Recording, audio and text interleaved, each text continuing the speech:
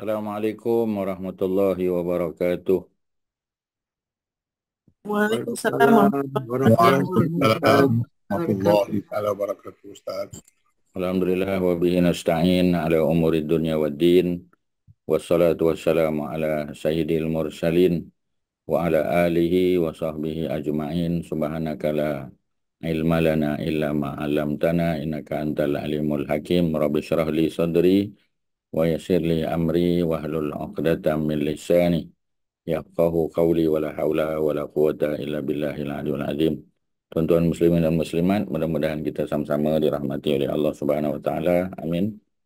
Jadi kita insya-Allah ya teruskan kita punya perbincangan. Kita berada pada muka surat 448 pada hari ini masih di bawah tajuk perdamaian ya.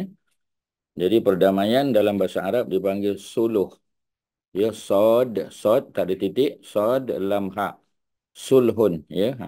apa makna sulhun? Perdamaian ataupun perjanjian damai ya ha, jadi dia punya keyword besar dia hari ini ya main keyword dia adalah sulhun ya perdamaian jadi perdamaian ni biasanya kita buat dengan kumpulan yang berkonflik dengan kita ya maknanya dua pihak ya dua pihak tu ada konflik macam orang Islam yang dipimpin oleh Nabi di Madinah dan orang Quraisy di Mekah ya. Ha, jadi dua-dua pihak ni ada konflik lah ya. Konflik yang kita kata bertitik tolak daripada perbezaan akidah ya. Perbezaan pegangan hidup ya. Macam kita dengan kawan-kawan kita lah ya.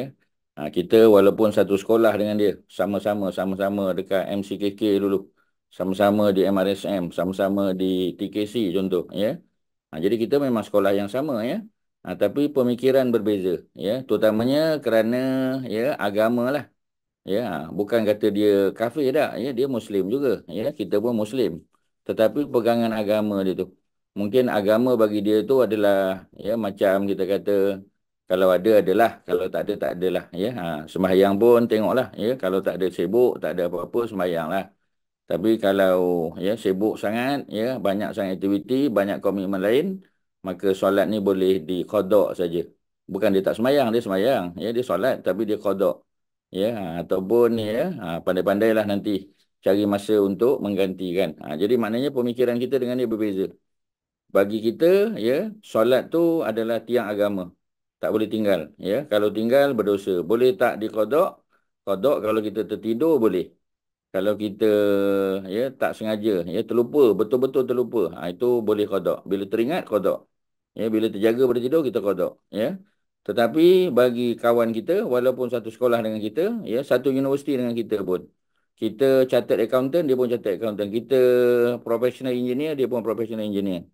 Tapi pemikiran agama kita berbeza dengan dia. Ya, ha, kita punya apa? Kita punya fokus dalam agama, dalam hidup, highlight kita dalam hidup berbeza dengan dia. Ha, jadi kita pun berkonflik. Ya, ha, jadi itu konflik-konflik biasa lah. Tapi dalam bab yang berkaitan dengan akidah, ya, orang Quraisy yang menyembah berhala, dan Nabi di Mekah eh, di Madinah yang ber, apa, beriman kepada Allah yang Maha Esa, ha, ini memang konflik besar. Tetapi boleh tak kita buat perdamaian?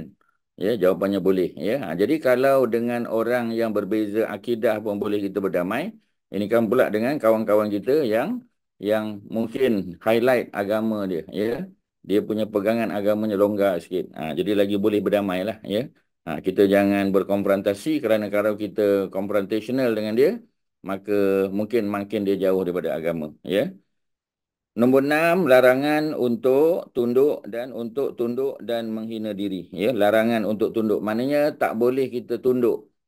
Ya, kita jadi inferior tak boleh. Ya, dan kita tak boleh menghina diri kita. Apa antaranya? Ya, antara perkara yang mutlak, ya, secara absolut diperlukan ketika perang ialah sikap berani. Dalam perang kita tak boleh lemah-lemah. Ya, ha, dalam berhadapan dengan musuh kita tidak boleh merendah dirilah. Ya, ha, tetapi kita kena ada sifat berani. Kita mesti ada sifat pahlawan. Ya, dan kita mesti merasa kuat. Kalau kita rasa lemah, ya, macam mana kita nak menang? Tetapi tak boleh ada takabur, sombong tak boleh. Ya, ha, jadi tak boleh. Ya, ha, kecuali beberapa tempat tertentu lah. Contoh macam sahabat Nabi yang dapat pedang ya nabi bagi dia pedang kemudian dia ambil pedang tu dia berjalan dengan angkuh dengan sombong ya Nabi kata ini jalan, cara berjalan ini cara jalan ahli neraka. Tapi dalam peperangan dibenarkan. Sebab kita kena tunjuk kita, kita hebat. Ya, ha.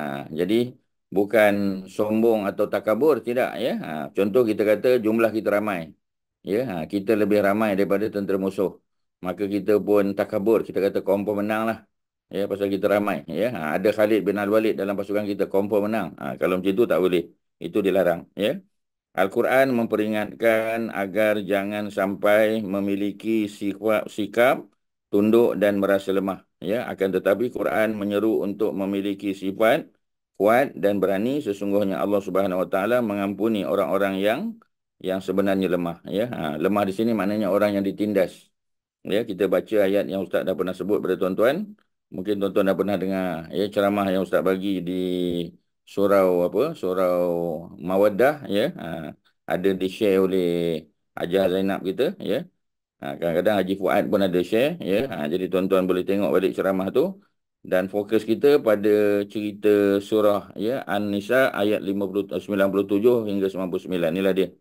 Cuma dalam apa ceramah tu saya tambah jadi ayat 100 ya, nak tunjuk pada mengapa kita perlu hijrah. Ha, jadi cerita hari ini ada kaitan dengan hijrah. Kita pun masih berada pada bulan Muharram. Malam ni 17 Muharram tuan-tuan. Ya. Kalau kita tengok di luar bulan masih besar lagi lah. Ya, sebab pertengahan bulan. Jadi kita baca ayat dia, tuan-tuan jangan tengok terjemahan, ya. Ustaz terjemah word by word. Ya, ha. jadi kalau tuan-tuan nak baca terjemahan, tuan-tuan baca tadi sebelum kelas ataupun lepas kelas, ya. Ha. jadi kalau dalam kelas tuan-tuan pay attention kepada teks Arab dia. Ustaz terjemah sebiji demi sebiji tuan-tuan, ya. Word by word translation. Jadi tuan-tuan boleh ambil manfaat. Jangan tengok terjemahan tu. Okey, kita terjemahkan. Inna sesungguhnya. Inna ni sentiasa berada di awal ayat. Ya, ha. itu trik dia tuan-tuan, ya. Ha. Inna di awal ayat ya dan dan kadang-kadang dia datang selepas kul. Ya, ha. jadi tuan-tuan boleh tengok ya dalam Quran selepas kul. Kul inna salati. Kul lepas kul inna. Tapi kalau tidak dia dah berada di awal ayat. The beginning of the sentence ada inna. Dia datang untuk memberi penekanan ya ha, kepada sesuatu perkara. Jadi Allah sebut inna sesungguhnya. Maknanya ada taukid kat situ ya ada apa kita panggil ya ada emphasis sesungguhnya allazina orang-orang yang tawafahum ya ha, al malaikah yang malaikat telah wafatkan mereka sebenarnya yang mewafatkan manusia bukan malaikat ya. Yang mewafatkan manusia ni Allah Subhanahu Wa Taala. Tetapi malaikat diwakilkan oleh Allah untuk untuk mencabut nyawa kita. Ya ha, kalau kita baca surah apa? Surah apa ni? Sajadah ya. Pada ayat yang ke-11 ada ya qul yatawaffakum malakul mautil ladzi wukila bikum.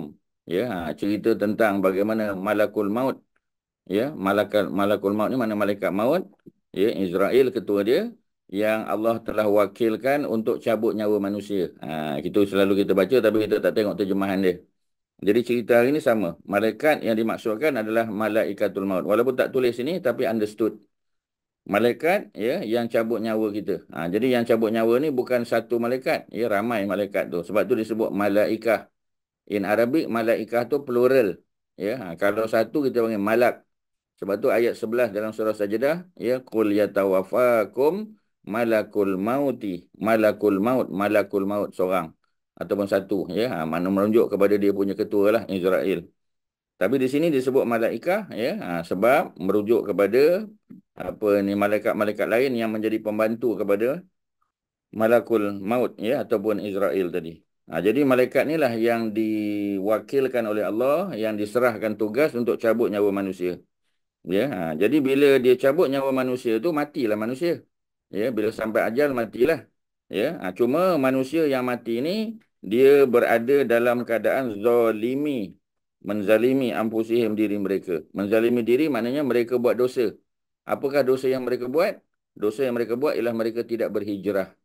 Ha, jadi maknanya tuan-tuan, ya cerita ni kalau Ustaz boleh bagi konteks dia. Sebab tuan-tuan faham ayat melalui konteks. Kalau kita tak tahu konteks, out of konteks memang tak boleh faham. Jadi konteks dia adalah perang badar.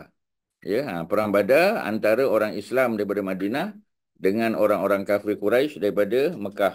Jadi orang Madinah dengan Mekah, ia bertembung orang Madinah ya orang Mekah uh, orang Madinah ada 305 orang orang Madinah ada lebih kurang 1000 orang Jadi maknanya tiga kali. Satu lawan tiga. Jadi ketika mana peperangan berlaku, yang terlibat dalam perang di kalangan tentera Quraisy ada juga orang Islam. Ya, orang beriman pun ada. Ya, pasal apa mereka boleh berada dalam pasukan tersebut? Kerana mereka tak hijrah. Ha, dia punya keyword dia, mereka tak hijrah. Jadi bila mereka tak hijrah, apa yang berlaku? Mereka dipaksa oleh Abu Jahal sebagai ketua panglima perang ya daripada Quraisy daripada Quraisy untuk pergi juga ya tak peduli ya ha, sebab ya mereka ni menyembunyikan iman mereka. Sebagai mereka mereka tak bagi tahu mereka ni muslim. Ya mereka solat pun sembunyi-sembunyi. Ya ha, mereka baca ayat Quran pun sembunyi-sembunyi. Mereka mereka tidak mendedahkan bahawasanya mereka ni muslim. Jadi Abu Jahal pun tak tahu. Ya ha, jadi kalau Abu Jahal tahu mungkin Abu Jahal dah seksa mereka.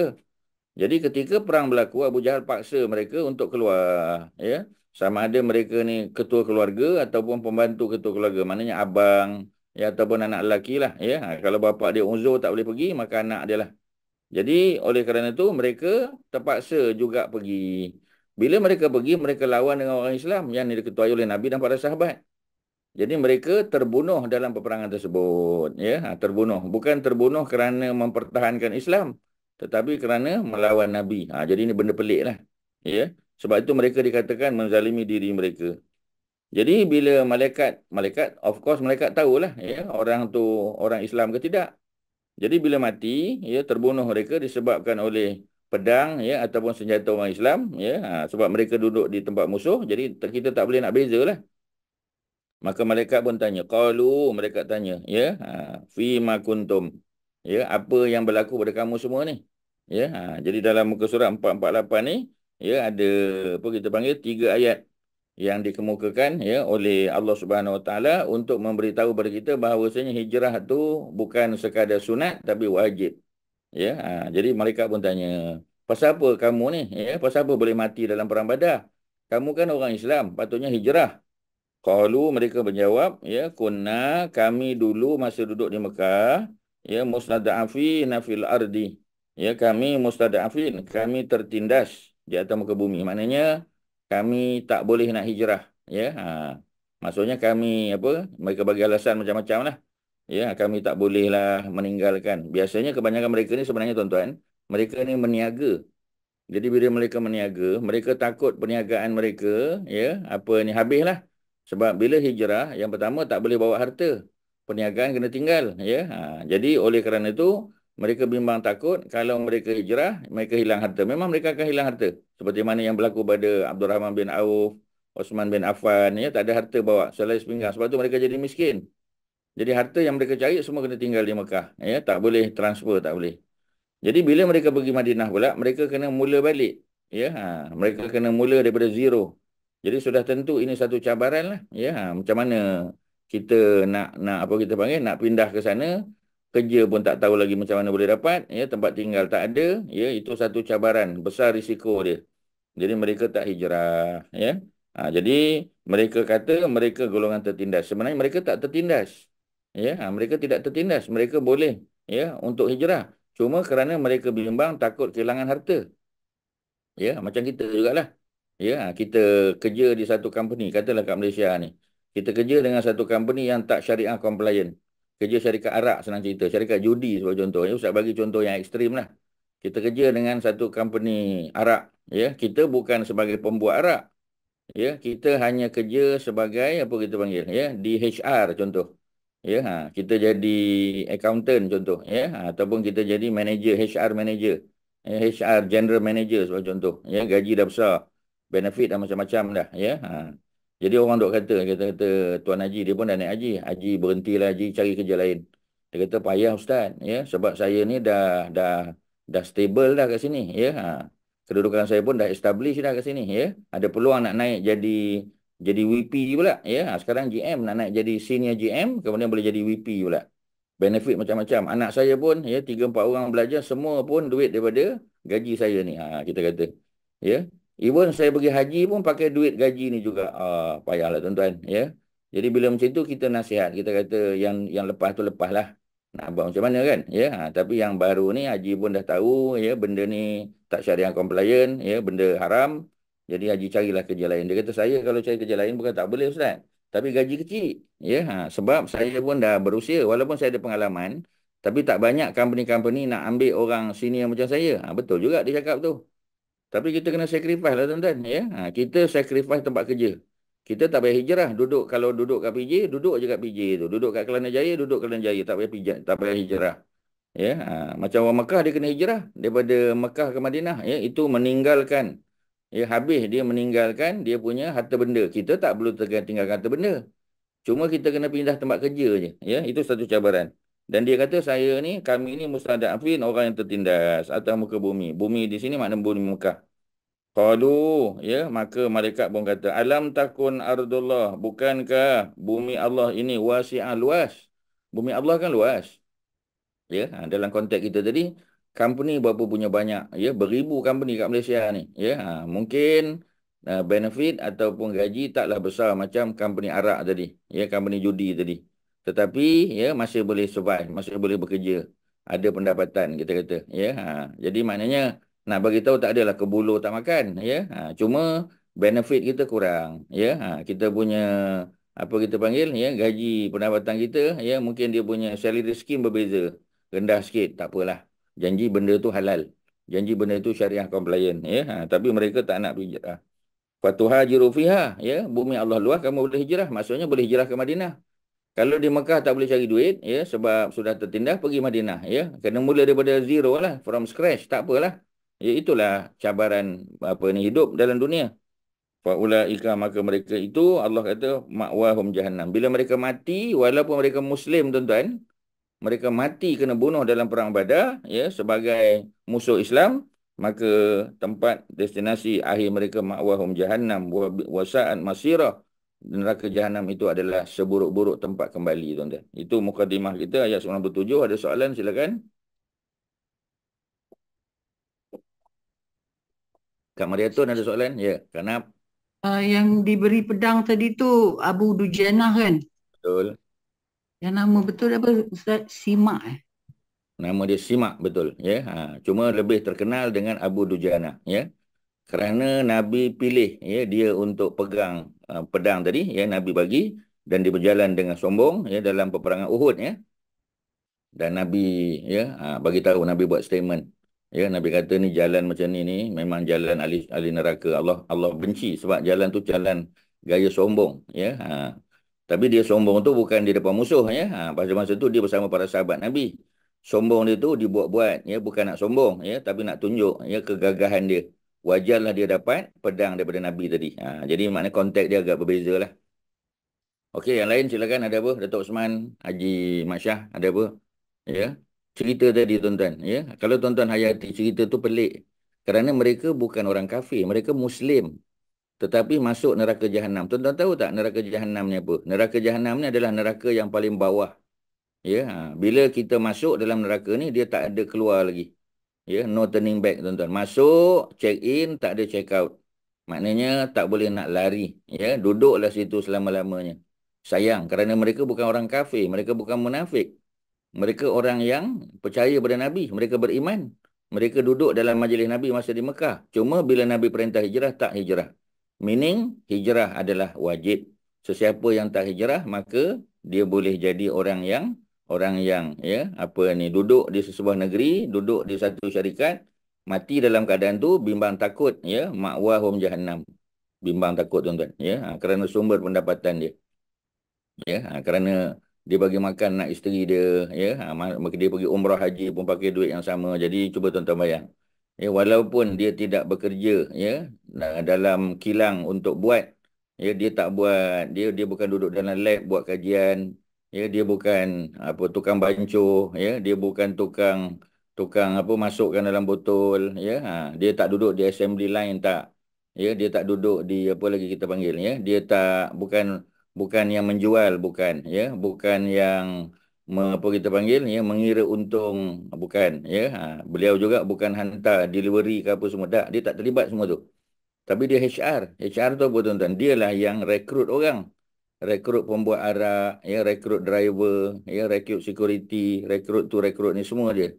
Ya, ha, maknanya apa kita panggil plan manager apa semua, semua dia yang buat rekrutmen. Cuba tuan-tuan bayang. Dia memang tak terlibat secara langsung. Tetapi secara tidak langsung dia terlibat. Boleh tak tuan-tuan? Jawapannya tak boleh. Minta maaf. Tuan-tuan, ya. Itu cerita dia. Okey, ada soalan tuan-tuan? Ya. Mungkin tuan-tuan ada pengalaman, ada kawan-kawan yang bekerja dengan company macam tu. Ya, tak mesti arak lah. Company lain pun boleh. Tapi tak syariah compliant. Dan bila kita bagi nasihat, dia tak mau dengar. Ya, ha. dia bukan tak faham, dia tahu tuan-tuan. Ya, bab benda-benda macam ni ni, zaman kita ni tuan-tuan, zaman teknologi maklumat ni, ya, zaman social media kebanyakan orang semua ada knowledge tentang benda ni. Cuma kita nak nak buat atau tidak. Ya, nak apa kita panggil, ya, take action ataupun tidak, tuan-tuan. Ya, ada soalan, silakan. Tuan-tuan, tak ada apa-apa. Tuan-tuan faham semua? Yang termasuk dalam yang tak berhijrah tu Abbas Abdul Muttalib juga kan? Betul, tapi Abbas tak masuk Islam lagi. Ini tak masuk Abbas. Sebab oh, dia tak. orang yang beriman. Ya, ha. Abbas belum masuk Islam. Dia memang kena tangkap. ya. Ha, dia memang sayang Nabi tapi dia belum beriman. Jadi dia tak masuk dia. Oh, mana ayat ni rujuk pada orang Islam lah yang tangkap, tak berhijrah. Betul. Masih duduk di Mekah. Dan kebanyakan mereka, mereka tak hijrah tadi sebab apa tuan-tuan? Pasal apa mereka tak hijrah? Apa sebab dia? Sayang ya. sayang, apa? Sayang dunia. Ha, sebab mereka ada bisnes, ada perniagaan di Mekah. Ya? Sebab Mekah tu World Trade Center tuan-tuan. Tuan-tuan kena ingat. Ya? Kalau banding dengan Madinah, Mekah lagi apa? Mekah lagi metropolitan. Sebab apa Mekah lagi metropolitan kat Norma? Sebab apa? Pasal apa? Ya. Tuan-tuan. Mekah uh, perniagaan ada perniagaan yang uh, ada apa ni chatty ada beri sebab tak, ada orang apa orang datang ni. sebab orang datang uh, tawaf dekat Mekah. Orang, orang luar datang. Ya yeah, sebab Mekah tu adalah center of ibadah tuan-tuan. Ya pusat ibadah. Ada apa? Ada apa kita panggil? Ya ada orang tawaf setiap masa. Tawaf setiap masa. Ada orang umrah setiap hari. Ya dan ada orang haji setiap tahun tuan-tuan. Ya ustaz ustaz atur tuan-tuan punya jawapan. Ya ha. ada haji setiap tahun. Ada umrah setiap hari ya sebab umrah dia tak peduli ya dia bukan setiap bulan setiap tahun ya setiap hari ya dan ada tawaf tawaf setiap masa tuan-tuan ya ha. Mungkin orang boleh buat umrah dua kali satu hari, katalah. ya. Ha. Tapi kalau kita rasa tak upaya, sekali sehari. Tetapi tawaf anytime, tuan-tuan. Ya, boleh. Ada masa je tawaf, ada masa tawaf. Ya. Walaupun kita kata umrah setiap hari ini, ya, adalah pandangan daripada mazhab Imam Malik ya, yang memakruhkan. Ya, tu kalau nak pinjang, nak pinjang, nak bincang tu kita duduk dalam kitab Bulughul Maram lah, boleh bincang detail kan. Ha, di sini kita bincang apa kita panggil secara touch and go je. Ya, tak boleh detail-detail sangatlah. Ya, sebab ada tempat dia. Nak bincang detail tu dalam bulughul maram. Sebab tu ada bab yang berkaitan dengan fiqah. Ya, persoalan yang berkaitan dengan syariat. Ha, tapi secara umum kita kata Mekah ni ya center of worship. Ya, bila center of worship orang datang untuk beribadah, at the same time dia berniaga. Ya, ha, jadi macam kita tengok ya orang berniaga di kawasan masjid lah. Ya, ha, jadi kalau tak ada solat Jumaat, tak ada aktiviti masjid, ya mungkin perniagaan dia tak orang tak datang lah. Siapa nak datang tuan-tuan? Ha, tapi bila ada aktiviti apa, ada ceramah, ada kuliah, ada semain Jumaat, ada sebagainya, maka orang datang, ya dan dan apa kita panggil aktiviti perniagaan berjalan dengan baik. Kalau mereka pindah ke Madinah, ya belum tahu lagi sebab mereka tak tahu tempat baru Madinah ni. Kita tak tahu, ya ha, pasarnya macam mana. Kemudian mereka dapat maklumat, ya dia punya persaingan hebat daripada orang Yahudi di Madinah. Ya, ha, jadi maknanya tuan-tuan, ya dari segi apa kita panggil ya sebab untuk mereka tidak hijrah ya senang cerita isu financial, isu ekonomi. Ya, itu antara sebab yang menghalang mereka daripada hijrah sebab mereka tak nak kehilangan harta. Mereka tak tahu ya apa yang akan menunggu mereka di sana. Jadi oleh kerana itu sebahagian besar tak hijrah dalam keadaan mereka sudah beriman. Ya, ha, tak masuk apa ni Saidina Abbas kerana dia belum beriman lagi pada masa itu. Dia sayang Nabi, dia jaga Nabi tapi dia belum beriman.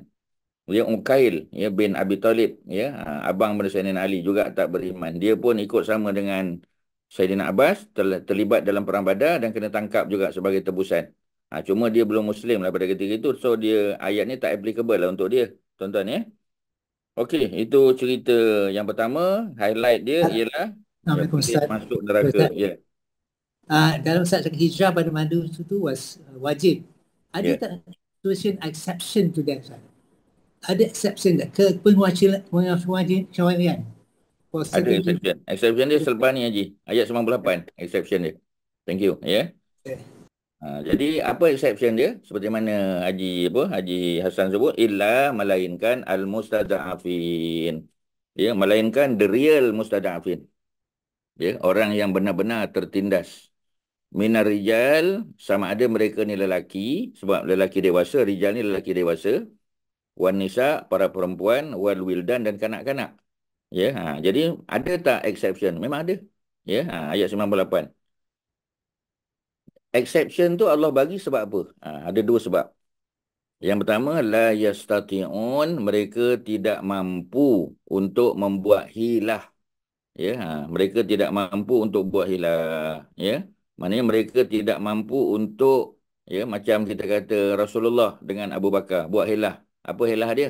Nak pergi hijrah, pergi menyorok dulu di Gua Sur contoh.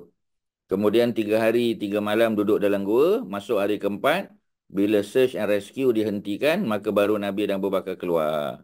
Itu pun Nabi buat helah, ya, berjalan di kawasan pantai. Tak ikut ya highway, desert highway tak ikut. Sebab kalau desert highway boleh bertembung dengan musuh. Dan musuh cari Nabi di desert highway. Nabi ikut coastal highway. Jadi orang tak jumpa lah. Ya, melainkan orang yang yang Allah tetapkan. Surakah bin Malik. Dia seorang je jumpa Nabi. Orang lain tak jumpa. Ya, ha. Sebab apa? Ya, sebab kebanyakan orang menyangka kalau orang nak lari, mereka akan gunakan jalan desert highway. Dia tunggu di desert highway, tunggu di banyak checkpoint, tak jumpa Nabi. Memang Nabi tak ikut apa ni, apa kawasan desert highway. Ha, jadi semua itu dipanggil helah. Ya, helah tu ya yang bukan semua orang mampu. Orang yang mampu buat helah, okeylah. Yang tak mampu buat helah, mereka dimaafkan. Yang kedua, ya, apa dia? Wala yahtaduna sabila dan mereka tidak tahu jalan nak ke sana.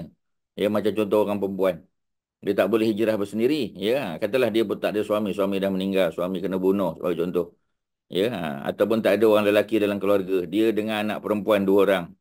Ya, so mereka tidak tahu jalan nak pergi sana. Dan mereka pun tak tahu nak engage apa ni apa ha, tour guide untuk bawa mereka macam Nabi kan pakai tour guide. Sebab jalan yang Nabi biasa ialah desert highway. Nabi biasa travel, Nabi biasa travel ya sampai ke negeri Syam Nabi dah pernah pergi. Ya, dikatakan juga Nabi pernah pergi ke Yaman, maknanya perjalanan utara selatan. Ya, ha, utara selatan, utara ke negeri Syam, selatan menuju ke Yaman, Nabi dah ada pengalaman. Tetapi ikut coastal highway, Nabi tak biasa. Sebab itu Abu Bakar pun tak biasa. That's why Nabi dengan Abu Bakar, ya, mereka engage ya, satu tour guide namanya Abdullah bin Uraikin. Namanya Abdullah tapi orang kafir.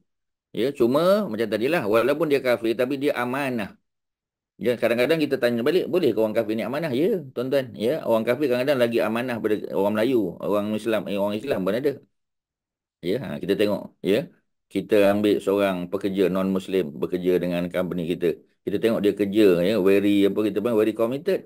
Ya, dia tak ponting, dia tak curi tulang, ya. Yang pasti dia tak pergi tak pergi sembahyang duha lah. Sembahyang lama-lama, ya, dia tak sembahyang.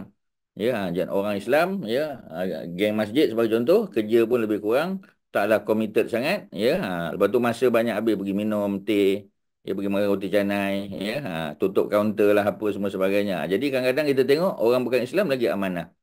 Cuma sayang sebab dia tak beriman saja. Kalau dia ada syahadah oh besar pahala dia tuan-tuan. Ya ha.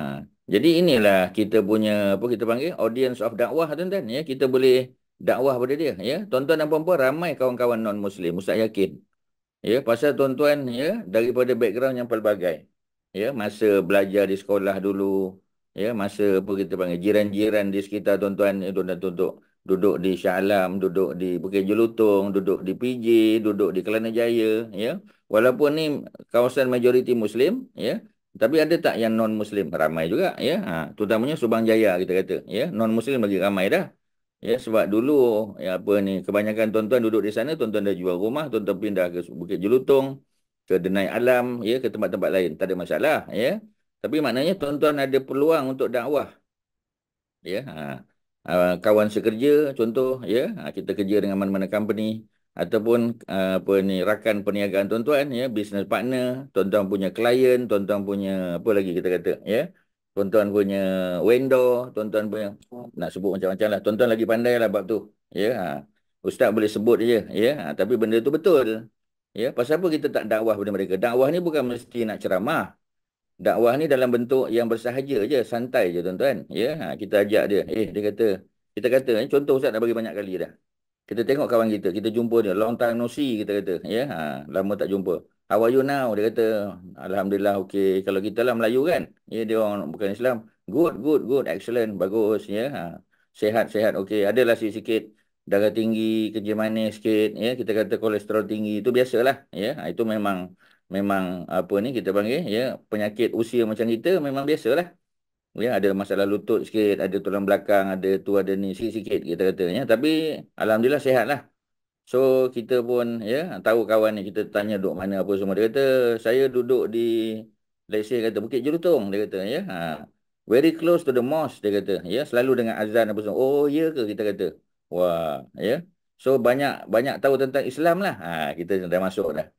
Dia kata adalah dengar jugalah kadang-kadang ya ceramah apa ni daripada rumah saya. Ada juga bagus juga ada satu ustaz dia kata ya very good speaker lah dia pun cerita. I dengar dia cerita pasal Islamic banking lah. I dengar dia cerita macam-macam. Kalau nak buat cerita ustaz boleh macam-macam. Seribu satu macam cerita ustaz boleh bagi kat tuan-tuan. Ya, ni tuan-tuan punya environment. Ya, macam ustaz duduk di kampung tak ada non-muslim, semua muslim tuan-tuan. Tapi audience kita ya orang Islam lah pula. Jadi tuan-tuan ada peluang untuk dakwah kepada mereka ya secara santai. Ya, isunya ialah kita buat ke tak tuan-tuan. Itu aja tuan-tuan. Tuan-tuan nak buat pahala tu memang lubuk pahala. Ya, dakwah ni lubuk pahala tuan-tuan. Dalam pelbagai bentuk ya. Memang cara mudah untuk dapat pahala. Ya, kita nak sembahyang sunat, berapa banyak sembahyang sunat kita boleh buat. Kita nak puasa sunat, berapa banyak puasa sunat kita boleh buat. Kita nak sedekah, berapa banyak sedekah kita nak buat ya. Ha. Tapi ya, bab dakwah ni mudah-mudah je tuan-tuan. Ya kita dakwah orang, ya cakap benda basic je tuan-tuan. Ya benda-benda asas dalam agama, ya ha, kita bagi tahu dia. Contoh ya kita semayang contoh RNR. Ya ustaz semayang di RNR dengan dengan someone lah ya, dia pun tak kenal kita, kita pun tak kenal dia kan. So kita tengok orang nak semayang seorang-seorang kita pun Allahu akbar, Allahu akbar sebab kalau kita tak mula orang tak mula. Ya, kita pun apa ni apa kita panggil iqamat, ya alhamdulillah ramai orang datang. Ya, kemudian sebab ustaz dah iqamat takkan ustaz nak jadi imam. Ya kita tengok ada seorang apa ni apa kita panggil ya seorang haji ke apa pakai kopiah pakai baju Melayu kita kata kita suruh dia ke depan lah ya dia pun pergi depan. Dia pun ya dia pun apa ni jadi imam ya ha, bacaan dia okey tak ada masalah. Ya tetapi bacaan pilihan surah dia uh, ni solat maghrib insya-Allah. Ya solat maghrib insya kita jamak kan ya jamak dan qasar. So katalah ya dia baca satu surah contoh ya. Ha, dia baca satu surah. Dia baca apa kita panggil ya dia baca qul a'udzu birabbil falaq. Ya ha qul a'udzu birabbil falaq rakaat pertama. Rakaat kedua baca qul huwallahu ahad. Ya ha, mana dia dah baca terbalik tu? Pasal pada pandangan dia rakaat pertama mesti lebih panjang dari rakaat kedua. Betul-betul. Tetapi dalam susunan Quran qul huwallahu dulu. Qul huwallahu surah 112 qul a'udzu birabbil falaq 113 qul a'udzu birabbin nas 114 last sekali jadi maknanya by right dia kena baca qul wallah dulu rakaat pertama dan qul a'udzu birabbil falaq rakaat yang kedua atau qul a'udzu birabbin nas rakaat kedua ya. Tapi dia baca terbalik. Ya, dia baca qul a'udzu birabbil falaq dulu kerana surah tu lebih panjang qul wallahu ahad pendek empat ayat ya. Ha. Jadi lepas pada habis solat kita pun ada peluang bercakap dengan dia. So masuklah tawah. Kita kata oh tapi pujilah dulu. Ya, ha, Haji Imam di taman ke datang dari mana kita tanya. Oh saya duduk di Kelana Jaya. Oh baca haji boleh tahan tajwid okey. Memang tajwid dia okey bukan kita saja-saja puji tak memang bagus. Dakwah tu kat situ tuan-tuan. Itu skill dakwah lah. Ya tuan-tuan kena kena pandai lah sikit ya. Ha. Borak jangan terus hentam ya. Ha. Jadi kita puji lu bagus alhamdulillah terima kasih. Ya kalau tidak ya kalau haji tak jadi imam tak tahulah orang semua semayang seorang-seorang. Ha, dia pun senyum je ya. Cuma kalau saya nak cakap sikit boleh. Ha, dia pun boleh boleh boleh. Ya kita dah buat repo yang baik dengan dia kita pun dah puji dia okeylah ya ha. kita kata dalam solat ni nabi aja rakaat pertama memang lebih panjang daripada rakaat kedua. Maksudnya surah rakaat pertama macam haji baca quran surat bil falak ya memang lebih panjang. Rakaat kedua kalau Allah lebih pendek. Sebenarnya by right dah betul tu tapi susunan kena jaga. Dia pun tanya ya susunan macam mana sebab kalau Allah tu dulu 112, ya Quran Surah Bil Falak 113, Haji tak boleh baca Quran Surah Bil Falak dulu, ya. Walaupun tak salah, taklah berdosa batal solat tak. Ya, tapi kita ajar dia benda basic je tuan-tuan. Ustaz rasa sebahagian tuan-tuan mungkin tak perasan. Ya, ha, Quran Surah Bil Falak kena baca rakaat kedua. Dia pun cakap, eh, tapi dia lebih panjang memang, ya. Sebab kalau Allah rakaat pertama, sebab tu jangan baca jangan baca surah tu kena baca surah lain lah. Ya, ha, lebih baik kita baca Quran Surah Bil Falak rakaat pertama, Quran Surah Bin Nas rakaat kedua. Ha, tu lagi lagi lagi bagus tuan-tuan. So dia pun ya, dia ucap terima kasih. Dia kata saya tak tahu. Ya memang saya tak tahu. Ya, ha, ini first time saya dengar. Terima kasih banyak. Ya, kita pun niat ikhlas dengan dia, dia pun ikhlas jawab. Tak ada marah, tak ada melenting dan sebagainya tuan-tuan. Ya, ha, okey.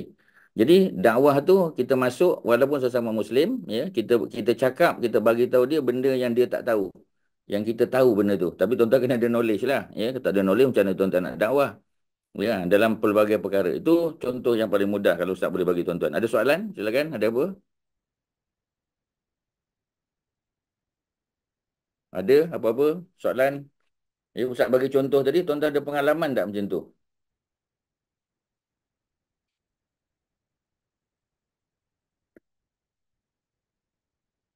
Soalan. Assalamualaikum Ustaz. Salam, betul lah. Ah, neighbor saya sebelah kiri Cina. Dia sembah Tok Kong. Macam mana Ya. nak dakwah macam tu? Dah 20 tahun dah duduk sebelah saya. Hmm, itu kena dengar apa brother Lim Joy Sun dengan brother apa brother apa Firdaus Wong ya sebab mereka ni uh, asalnya Buddhis ya sembah Tok Kong. Ha, jadi kita kena carilah kat YouTube tu kan. Ha, akak kena carilah ya ceramah-ceramah mereka yang macam mana how to deal with non-Muslim. Ya, ha, jadi dia akan ceritalah ya macam mana kita nak tackle contoh ya. Sebab orang yang sembah Tok Kong ni kita tahulah ya ha, dia anggap Tok Kong tu sebagai Tuhan ada kuasa kan. Tetapi dia ada tak give up dalam kehidupan dia ada ya. Ha, Ustaz ambil contoh Firdaus Wong. Ya, ha, sorry Lim Joy Sun ya ha, dia cerita. Lim Joy Sun ya dia kata masa dia kecil dulu dia orang Melaka. Ya dia kata masa uh, satu hal satu satu situasi itu adik-beradik dia sakit semua. Jadi bila sakit mak dia pun ya macam kita nak kena pergi kedai tokong beli satu tokong yang yang powerful. Tokong yang ada kat rumah kita ni tak cukup powerful. Ha, itu dia punya belief lah. Sebab tokong yang cerita tentang kesihatan. Sebab dia patung ni macam-macam. ya Banyak tujuan dia. Antara tujuan dia adalah patung yang boleh bagi kesihatan. Jadi dia kata adik-beradik dia semua sakit. Ya, ha. Jadi bila sakit, ya yang tak sakit dia seorang je. So mak dia kata, ya, ha, mak dia pun bawa dia pergi ke pergi ke kedai tokong. Nak beli tokong lah, dia dah tahu dah, ya. Ha. Jadi bila dia pergi kat situ, maka mak dia pun tanya. Dia cerita pengalaman dia. Ni Ustaz bagi contoh tuan-tuan. Ini Ustaz pun dapat daripada dia punya ceramah lah. Ada ceramah dia yang Ustaz datang dengar live, ada yang kita dengar daripada YouTube lah. So dia pun cerita, ya apa apa dia cerita. Dia kata mak saya, ya tanya pada tokek kedai tu, ya. Dia bukan beli beli tokong tu dekat grade dekat apa dekat temple bukan, ya. Tempat jual tu dekat kedai tuan-tuan. Komersial bukan yang jual tu sami dah. Orang biasa je. Tapi dia percaya, ya. Ha, dia pun tanya. Dia kata tokek ini diterjemah. Dia cakap dalam bahasa Cina lah, ya. Ha, ini terjemah Melayu. Jadi mak dia tanya. Mak dia kata ni anak-anak saya semua sakit ni nak pakai apa, ya. Nak pakai tokong mana? Dia kata tokong yang berkaitan kesihatan lah yang boleh bagi sembuh. Betul lah tu. So dia tanya tokong mana yang paling paling yang bagus sekali. Kata tokek itu tokong yang paling mahal lah itulah yang paling bagus. Memanglah dia sebab dia meniaga. Kita dah tahu lah tuan-tuan orang meniaga mesti nak jual benda yang paling mahal. Ya, ha. Kemudian dia pun beli.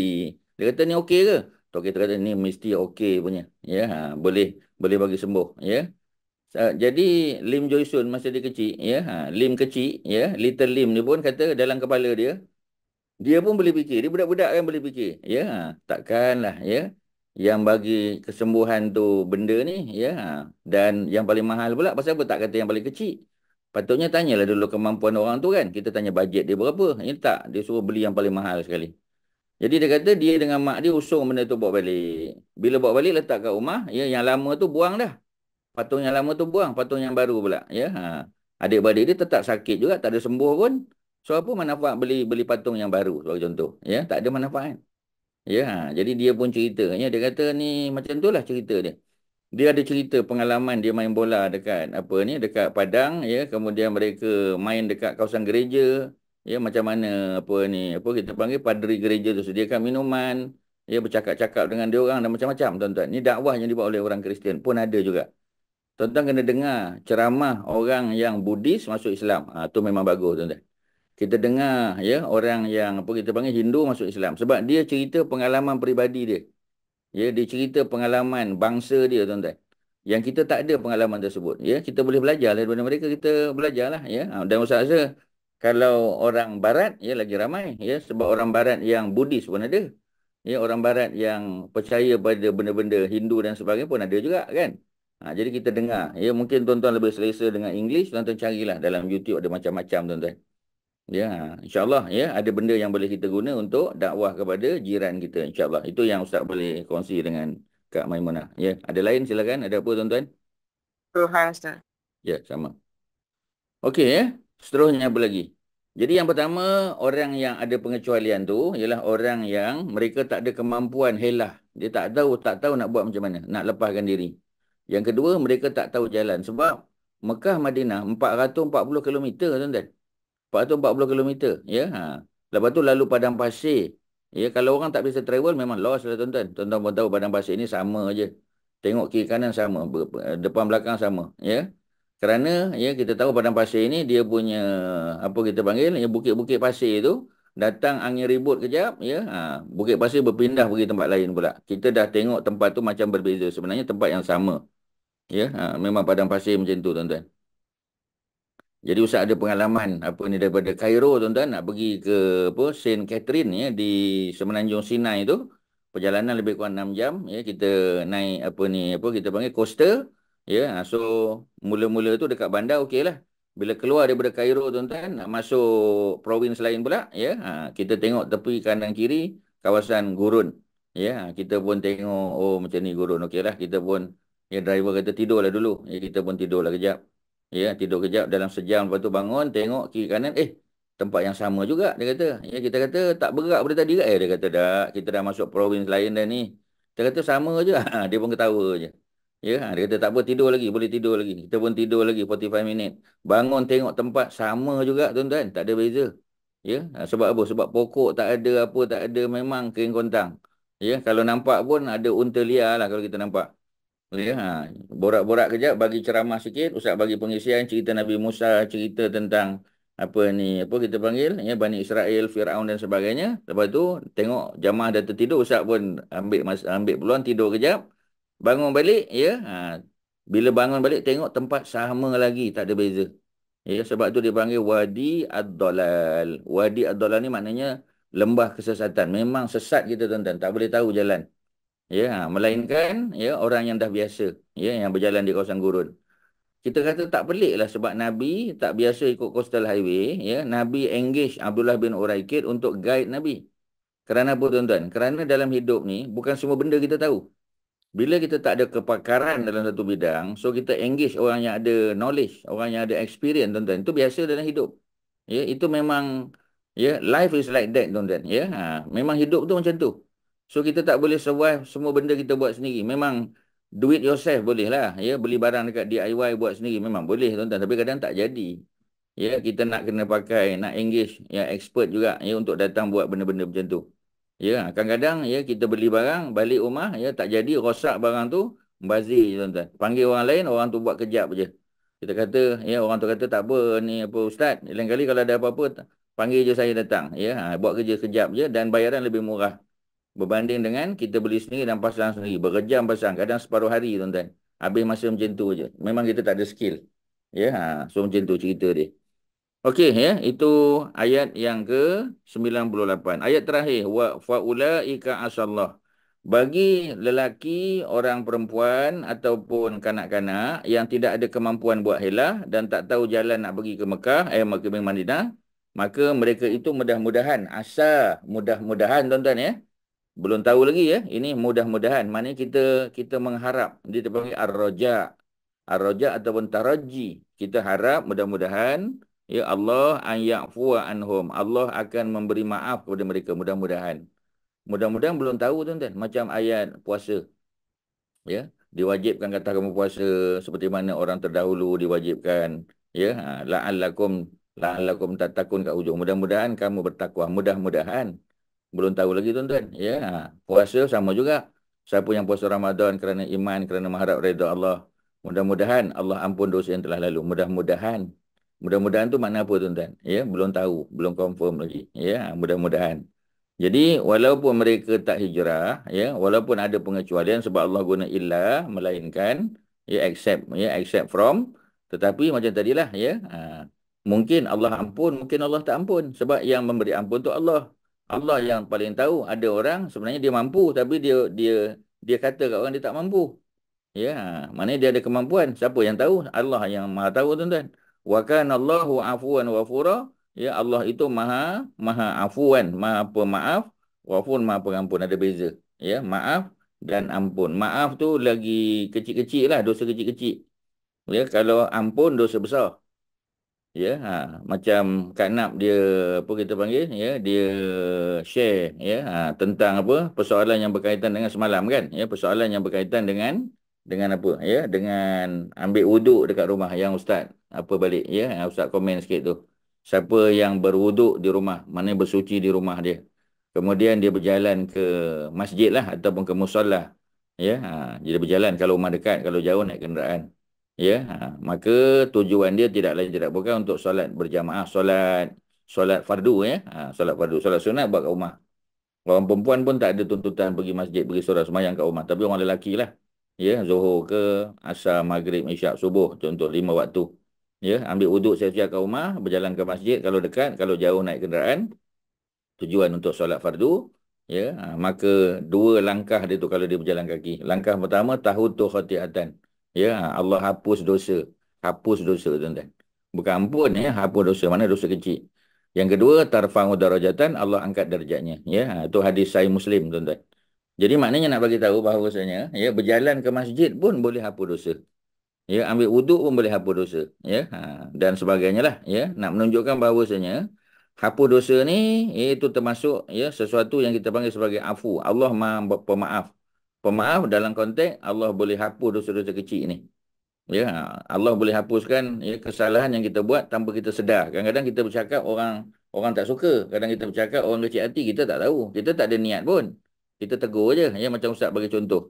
Contoh ya, bila kita bagi contoh kena kat batang hidung orang tu kita pun tak tahu. Mungkin bukan dia tapi adik dia. Mungkin besan dia. Mungkin dia punya menantu. Kita tak tahu. Kita pun tembak aja. Bila tembak kena.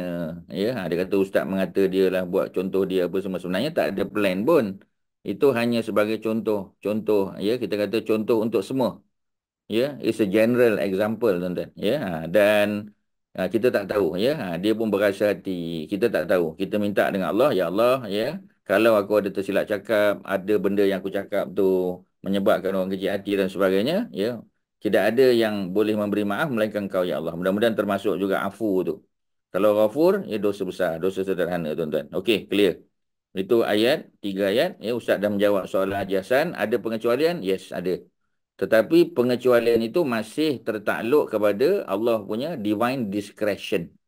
Maknanya kalau Allah nak maaf maaf. Kalau tidak kita tak boleh paksa. Ya ha jadi Allah boleh paksa kita tapi kita tak boleh paksa Allah kerana Allah Maha segala-galanya tuan-tuan. Allah yang Maha tahu. Ya sebab itu Allah lah ya uh, apa kita panggil hakim yang paling adil. Ya benda-benda yang tak selesai di dunia semua akan carry forward ya uh, di apa di akhirat besok dan Allah akan selesaikan dengan seadil-adilnya ya sebab Allah itu ahkamul hakimin. Ya uh, jadi Allah itu ahkamul hakimin maknanya hakim yang paling adil semua yang berlaku di dunia yang tidak mendapat pembalasan yang betul akan diadili semula. Ya, akan ada apa kita panggil? Ya, akan ada penghakiman semula di akhirat besok tuan-tuan. Okey, clear habis. Itu tiga ayat pertama. Ada soalan apa-apa sebelum kita sambung? Silakan. Ustaz. Ya. Ada beza tak ganjaran pahala orang yang berhijrah ke Hab Habsyah dan ke Madinah? Ada dah tentulah ya. Setiap hijrah tu ada apa kita panggil ya ada perbezaan dia ya. Sebab hijrah hakiki Madinah ya. Hijrah ke Habasyah itu temporary. Bila disebut temporary maknanya boleh hijrah boleh tak hijrah ya. Ha, sebab tu kalaulah hijrah ke uh, Eritrea Habasyah tu wajib nabi pun kena hijrah. Nabi tak pergi Abu Bakar tak pergi, ya, Umar tak pergi, Ali tak pergi, yang pergi Osman bin Affan sebab dia jadi ketua. Kerana dia dah berkahwin, ya. Patutnya Ali jadi ketua tapi sebab Ali belum kahwin dengan Fatimah, maka ketua kalau boleh kita pilih orang yang dah ada isteri sebab dia nak duduk di sana jauh. Ya, nak duduk di sana dalam keadaan berbulan-bulan, ya, bertahun macam Ja'far bin Abi Talib, ya. Sampai lebih kurang 15 tahun duduk sana tuan-tuan. maknanya nak bagi tahu lama. Jadi kalau dia belum ada isteri, payahlah kesian dia. Ha, jadi dia ada isteri ya dan anak-anak dia pun lahir di sana. Jo kita kata lebih menasabah lah ya untuk orang yang sudah berkahwin dipilih oleh Nabi sebagai ketua. Ya, ha, jadi ha, wajib tak ya ha, hijrah ke Habasyah tak wajib. Ya, ha, tapi kalau orang tu rasa tertekan maka pindahlah. Kalau Madinah ya itu wajib. Ada tak beza antara yang tak wajib dengan wajib? Dah tentu. Ya kalau orang tanya kita kan ya sembahyang zuhur wajib. Qabliyah dan Ba'diyah lagi banyak ya. Qabliyah empat, Ba'diyah empat. Boleh tak Qabliyah empat, Ba'diyah empat tu lawan ya apa ni pahala sembahyang fardu fardu zuhur? Jawapannya tak boleh. Kerana sudah tentu yang wajib itu lebih besar pahala berbanding dengan yang sunat. Iaitu secara umum tuan-tuan. Boleh ya. Ada lain silakan. Ada apa? Tak ada. Rasulullah selalu pilih jalan damai. Kita baca tuan-tuan. Jadi apa damai tadi? Suluh. Sod lamha. Sulhun. Sulhun makna perdamaian antara dua pihak yang conflicting. Ya, two conflicting parties. Ya, selagi boleh baginda lakukan. Maknanya, selagi ada jalan untuk berdamai, Nabi akan pilih perdamaian. Ya.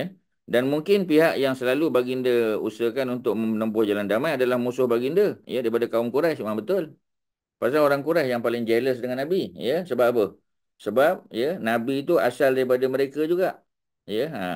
Dan mereka jealous sebab apa? Sebab orang muda macam Nabi yang dipilih sebagai Nabi dan Rasul. Mereka terima tak tuan-tuan? Secara zahir mereka tak terima. Dalam hati kecil mereka, mereka mengiktiraf Nabi. Tapi mereka tak lafazkan. Ya, kita iktiraf dia. Ya, ha, tetapi dia tak sebut. Ya, ha, macam mak mak kita lah, mak kita, ayah kita. Ya, ha, walaupun dia bangga dengan kita, tapi dia tak puji kita depan orang lain. Dia tak kata anak aku ni, ya, alhamdulillah, walaupun susah payah, ya, berjaya juga dia ya apa ni apa kita panggil dapat juga dia mencapai memenuhi cita-cita dia. Ya buat kami satu keluarga bangga. Ya jadi macam-macam ya. Tapi dia tak cerita depan kita dia cerita dengan orang lain. Kadang-kadang indirect aja ya. Ha, tapi orang lain bagi tahu kita. Tak ada masalah tuan-tuan ya. Sebab ada mak bapak yang kadang-kadang macam tu. Sebab orang Melayu macam biasalah kadang-kadang dia tak ya sebab dia dia tak direct tuan-tuan ya. Ha. sebab tu orang putih lain Ya, orang putih biasa je kita bagi hadiah dia buka depan-depan kita. Orang Melayu tak boleh tuan-tuan. Ya, itu pantang. Jadi kalau nak buka waktu lain, bukan buka depan-depan kita. Ya, kalau kita buka depan kita tu jadi malu pula kita. Kalau kalau yang kita bagi hadiah tu benda benda yang mahal, okeylah ya. Tapi kalau benda yang murah saja kita terasa pula Allah dia buka depan orang lain pula. Ah ha, jadi, dah jadi isu dah. Okey ya, itu ceritanya. Baginda memilih jalan damai dengan mereka ketika masih berada di Mekah. Ya, kita kata memanglah Nabi nak berdamai. Ya, sebab Nabi duduk di Mekah. Nabi bukan pemimpin. Nabi orang bawahan. Dan orang Islam sikit. Orang kafir ramai. Sebab tu Nabi berdamai. Kita kata. Ya, ha, cuba tengok lagi. Yakni ketika masih lemah dan para pengikut baginda masih sedikit.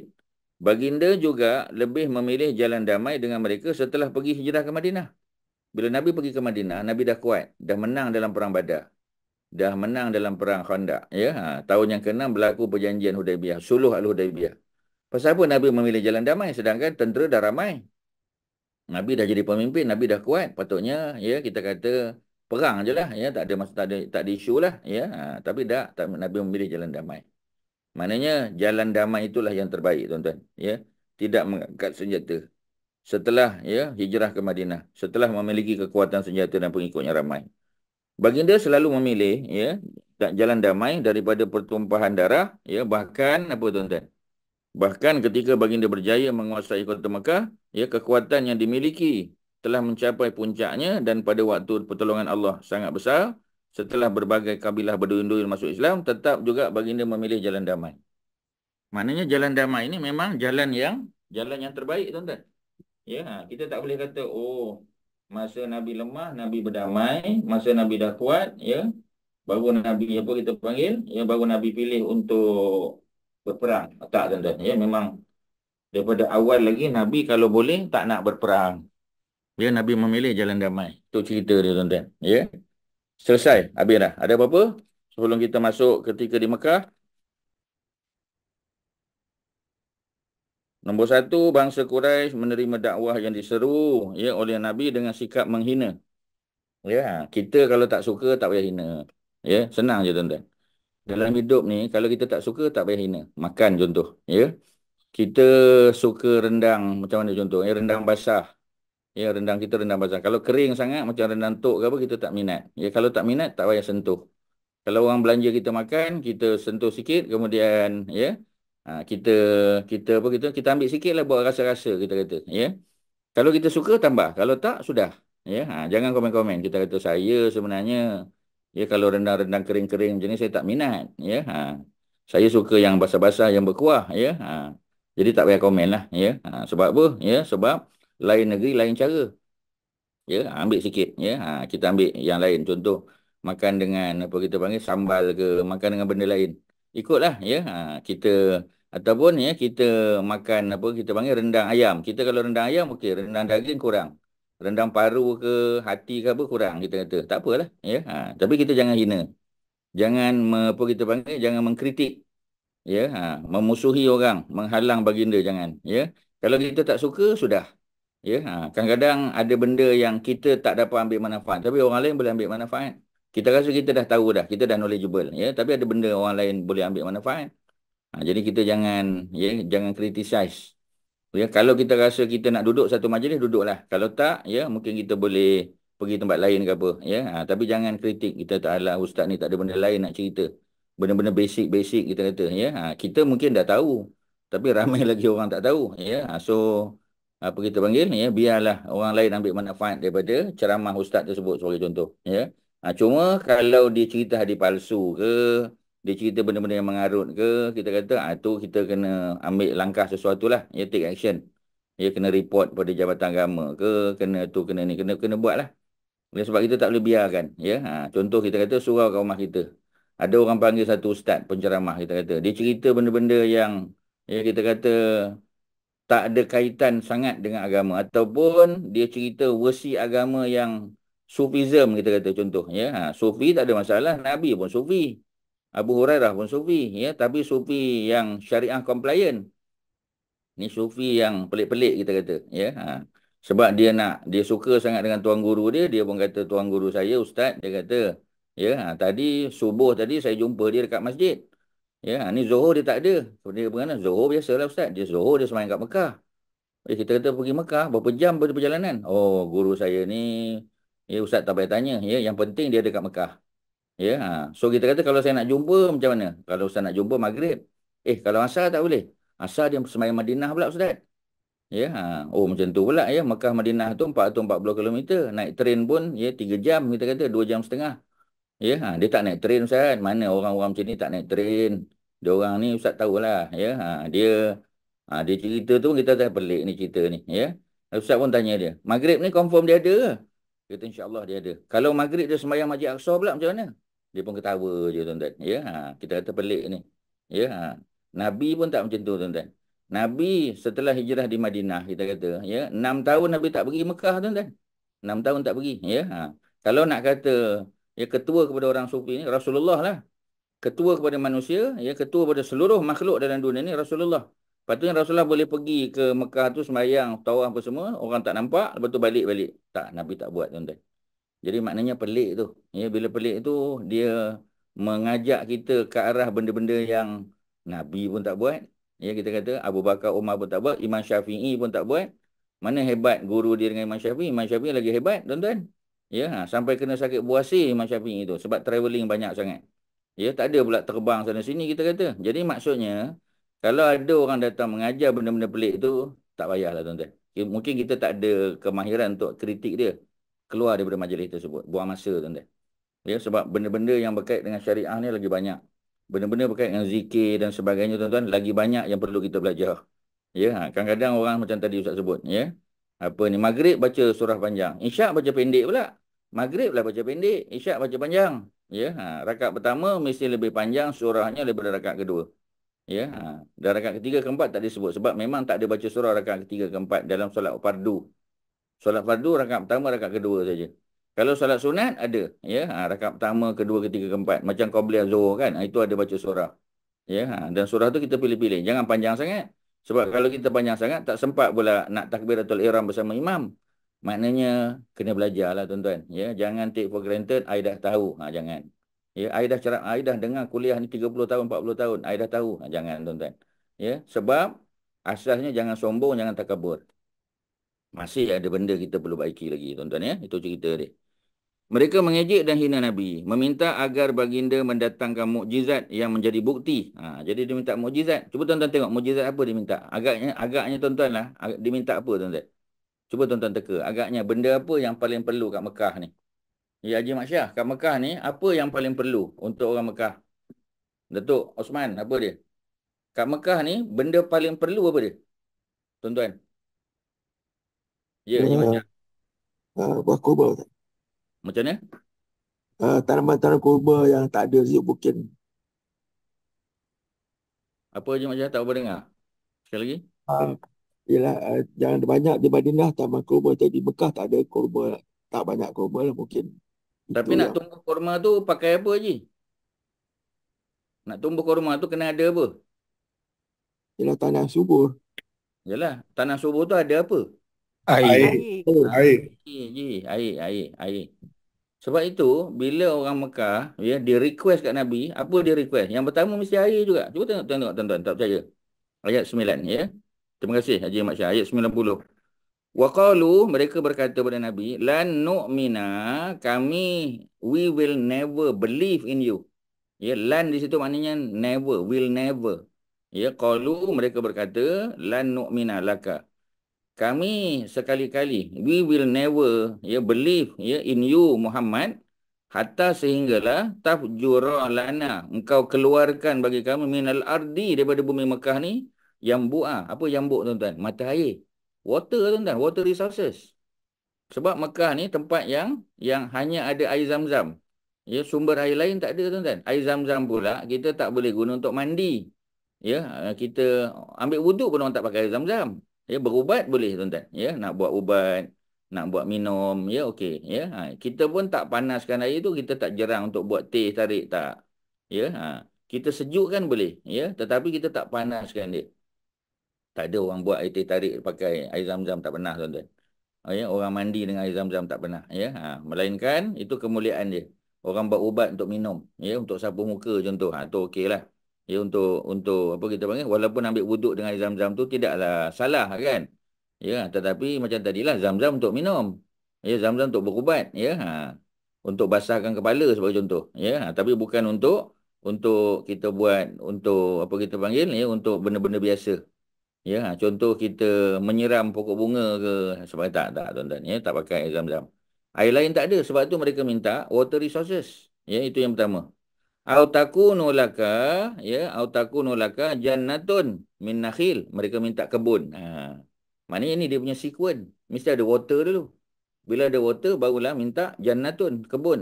Kebun tu daripada apa? Min nakhil, daripada pokok kurma. Haji Mak Syah dah jawab dah betul. Min nakhil wa inabin dan pokok dan pokok apa? Inab. Inab mana apa tuan-tuan. Inab inab maknanya anggur. Nak tanam anggur macam mana? Di Mekah tu. Cuaca dia. Tuan-tuan mau tahu kan? Anggur ni mana boleh tanam kat tempat panas? Ya ha, mesti tanam di tempat yang sesuai. Sebab tu di Mekah kat Mekah tak boleh tanam. Yang boleh di Taif. Sebab Taif tu tinggi tempat dia. Tempat sejuk. Ya ha, itu pun musim sejuk boleh lah kemudian apa lagi? Ya ha, jadi mereka minta benda yang pelik-pelik mereka pun tahu dah ya. Mana boleh tanam pokok anggur sebagai contoh. Tan tan tanam pokok pokok kurma pun nak perlukan air yang banyak ada ada ada underground water di macam Madinah. Okeylah ya. Kemudian apa lagi? Fatu wajira al anhar dan kamu apa ni hasilkan keluarkan al anhar anak-anak sungai khilalaha in between. In between pokok tadi ya tafjira ya memancar yang deras air aliran air dia Tuan-tuan, macam mana orang Mekah boleh tahu benda-benda macam ni? Pokok kurma, pokok anggur, ada sungai. Sebenarnya mereka dapat daripada mana, tuan-tuan? Ya, knowledge mereka tu dapat daripada mana tu? Macam mana mereka boleh dapat knowledge ni, apa ni, Dr. Syari? Macam mana? How did they get the knowledge? Macam mana, tuan-tuan? From where? Quran, kot, baca Quran. Mana kafir baca Quran pula? Apa Haji Syari? Dia dengar je. Ya, macam mana? Daripada mana tuan-tuan? Daripada mana mereka dapat maklumat ni? Kerana mereka punya apa? Mereka, Mana? mereka berniaga Ustaz. Pergi, pergi tempat-tempat tu eh. Ha, ya. Mereka mengalami tempat-tempat yang mereka berniaga. Ya, ya. Ha. Di di mana tuan-tuan? Di di Jordan dan Syria lah tuan-tuan. Sebab mereka Hmm. meniagakan negeri Syam. Ya, tuan-tuan, mereka meniaga negeri Syam. Jadi bila mereka meniaga ke negeri Syam, ya, ha, dan mereka pergi juga ke Ethiopia. Ada orang Mekah ni pergi tak meniaga Ethiopia? Pergi. Sebab tu mereka kenal Najasyi tu, ya, dan mereka tahu di di Ethiopia ada sungai. Ada lake, lake tanah namanya tuan-tuan. Lake tanah. Lake tanah tu adalah sumber air untuk Nile River. Ya, kalau tuan-tuan tengok Nile River ni ada dua sumber. Yang pertama Victoria Lake. Victoria Lake tu kat bawah, kat selatan. Itu dekat tengah-tengah benua tu. Dekat Uganda, ya, apa ni Tanzania, Kenya kat bawah. Ada satu lagi, itu dipanggil apa ni, apa kita panggil White Nile tuan-tuan. Tapi yang daripada Tanah Lake, Tanah Lake tu duduk dekat Ethiopia, tuan-tuan boleh tengok peta, ya. Kat situ ada apa? Ya, ada Tanah Lake. Tanah Lake tu adalah ya, Blue Nile. Blue Nile daripada situ tuan-tuan. Sebab tu dia bertemu dekat Khartoum, dekat Sudan. Dia ada Blue Nile campur dengan White Nile, dia bertemu ya dekat Khartoum. That's why dia panggil Khartoum. Khartoum mana belalai, macam belalai gajah. Ya, ha, dia jumpa, dia bertemu kat situ daripada Khartoum baru dia naik jadi satu sungai tuan-tuan. Ya, ha, dulu dua. Ya, dia ada Blue Nile, ada White Nile, bertemu dekat Sudan, daripada Sudan naik atas. Jadi orang Mekah dah tahu. Orang Mekah dah tahu sebab mereka travel. Jadi based on dia punya experience, ya, ha, dia travel pergi ke utara, pergi ke selatan, pergi ke Afrika, ya, ada yang pergi ke belah-belah Parsi, ke Iraq sana, ya. Sebab tu mereka tahu cerita ni. Dan, betul, Haji Syari sebut Quran tu betul. Ni dalam suratul Kahfi. Ada cerita, ya, ha, bagaimana Allah buat, ya, apa ni apa kita panggil ya dia punya kebun tu ya. Yang yang apa kita panggil dua adik beradik ya yang ada kebun ya dapat daripada harta pusaka ya. Kemudian yang pertama tu ada pokok anggur ya pokok kurma dan tengah-tengah tu mengalir air sungai. Itu orang Islam yang baca Quran tahulah ya ha, tapi mereka hanya dapat nulis melalui dia pergi Jordan lah pergi Jordan on the way kan nak pergi ke Syria tu nak lalu Jordan dulu ya ha, mereka tengok pokok-pokok kurma, mereka tengok pokok anggur, buah-buahan dan sebagainya dan ada sungai. Ya, of course sungai pun sungai Jordan. Jordan River tuan-tuan, ya. Jadi oleh kerana itu, mereka punya pengalaman tengok tempat ni bila mereka balik ke Mekah, ya, mereka jumpa dengan Nabi, mereka tahu Nabi ni ada mukjizat dan mereka kata, kalau Muhammad engkau betul-betul Nabi boleh keluar mukjizat, kami nak sumber air. Ha, dia nak benda yang berkait dengan keperluan dia lah tuan-tuan. Ya, ha, jadi bila begitu keadaannya, ya, baginda selalu menyampaikan kepada mereka bahawa baginda bukan orang yang mengaku-ngaku mampu mendatangkan mukjizat. Tetapi baginda hanya manusia biasa. Ya, ha, Nabi ini basyarun. Basyarun, ya. Nabi ini basyarun maknanya manusia. Innama ana basyarun mislukum yuha. Ya, dalam ayat terakhir surah Al-Kahfi. Hanya sebenarnya aku ni adalah manusia macam kamu juga. Ya, ha, bila manusia macam kamu maknanya ada kemampuan tak tuan-tuan? Ya, tak ada kemampuan. Melainkan apa yang Allah izin lah. Ya, kalau Allah izin dapatlah. Jadi Nabi sebut, ya, Qul subhana rabbi. Qul katakanlah, wahai Muhammad, Allah perintah Nabi untuk jawab, untuk respon. Subhana rabbi, maha suci Tuhan yang mencipta aku. Hal kuntu. Hal itu makna tidaklah. Ya, tidaklah aku illa melainkan basyaron. Seorang manusia yang dijadikan, dilantik sebagai Rasul. Sebab Nabi manusia biasa. Nabi tak ada kemampuan pun. Kecuali Allah bagilah. Ya. Rasulullah SAW terpaksa menghadapi berbagai macam gangguan dan seksaan di Mekah. Nabi kena seksa tak tuan-tuan? Ya. Kena juga. Ya. Walaupun taklah sehebat macam apa ni Bilal bin Rabah. Ya. Macam sahabat-sahabat lain ni. Kita kata Ammar bin Yasir, Sumayyah dan sebagainya bunuh kan. Ha, tetapi Nabi kena tak fizikal kena letak apa ni apa najis unta di belakang Nabi ketika solat. Nabi dicekik oleh Abu Jahal, Nabi dipijak apa ni tengkuknya ya. Ha, mak maknanya banyak perkara-perkara yang bersifat fizikal yang Nabi lalui. Walaupun tidaklah sehebat ya sampai ke peringkat diletakkan batu di atas dada ya, ha, tapi gangguan tu ada tak ada. Ya, ha, macam-macam. Tetapi yang membuat baginda merasa tidak kuat adalah ketika melihat para pengikut yang lemah diseksa. Ha, itu yang Nabi tak tahan. Sebab bila kita tengok orang lain, macam kita lah tengok orang Palestin, tak tak tahan nonton, tak tak sanggup kita nak tengok video-video tu. Budak hilang kepala, ada hilang tangan, kena bom, ya. Ha, dalam perjalanan satu family kita kata, ya, ha, maknya mati, ya, bapaknya mati, ya, ha, tinggal anak kecil seorang-seorang menangis, ya. Apa ni apa kita panggil duduk dekat dengan mak dengan bapaknya dalam keadaan dah mati. Oh itu tak tak tahan kita tuan-tuan. Memang tak boleh tahan ya. Jadi mereka adalah orang-orang lemah yang tidak memiliki kekuatan dan daya upaya untuk membela diri. Tak ada kemampuan. Oleh itu baginda lebih suka memilih jalan damai ya untuk para pengikut. Sebab tu tuan-tuan kalau boleh jangan perang. Kita berdamai ya dengan cara menyuruh mereka berhijrah ke Habasyah ya. Ha, tapi hijrah disebut bukanlah wajib. Sekadar untuk menyelamatkan akidah mereka.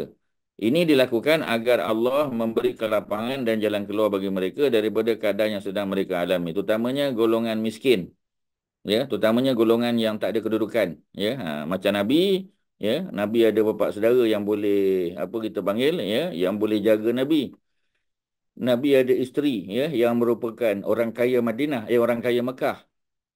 Ya, ha, so mereka terpaksa, ya, pejam mata dululah peringkat awal. Ya, ha, kebanyakan apa ni seksaan ataupun ya kita kata apa ni uh, apa tekanan fizikal pada nabi itu kebanyakannya selepas ya bapa saudara nabi wafat dan juga isteri nabi wafat maknanya ketika ya tahun yang ke-10 ha, jadi maknanya the last three years of nabi punya stay di di Mekah tu itu yang paling teruk sekali lah ya kerana mereka dah tak ada hormat dengan nabi pasal nabi tidak ada lagi Abu Talib Abu Talib gubernur Mekah mati dah Gubernur dah tukar orang lain. ya.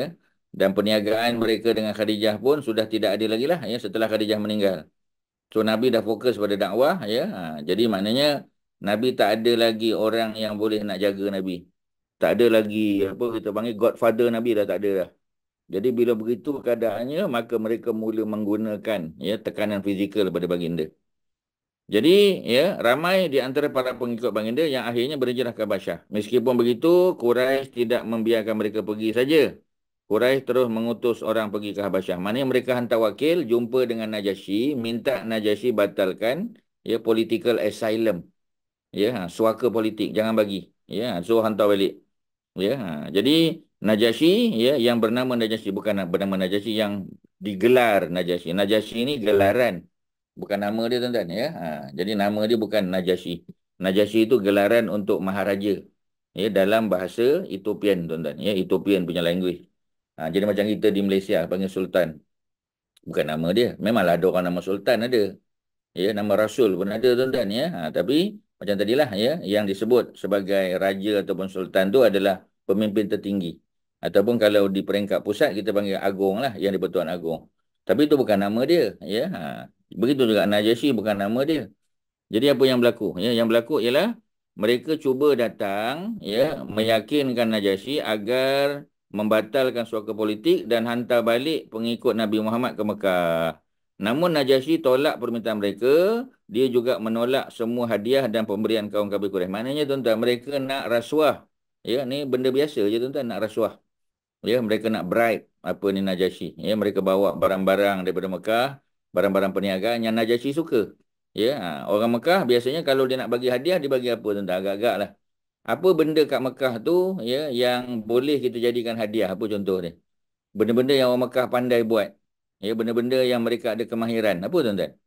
Apa agaknya? Perempuan tuan-tuan? Wangi. Apa dia? Minyak wangi. Minyak wangi banyak tempat lain ada juga ya. Ha, sebab minyak wangi ni bias, biasanya berasal daripada apa contoh? ya daripada kijang contoh ya. Kijang tak ada kat Mekah ya. Kemudian daripada pokok-pokok ya kita panggil oud ya. Mekah pun tak ada juga ya. Apa benda tuan-tuan? Yang Mekah kalau macam sekarang kulit kita... binatang Ustaz. Apa dia? Kulit binatang.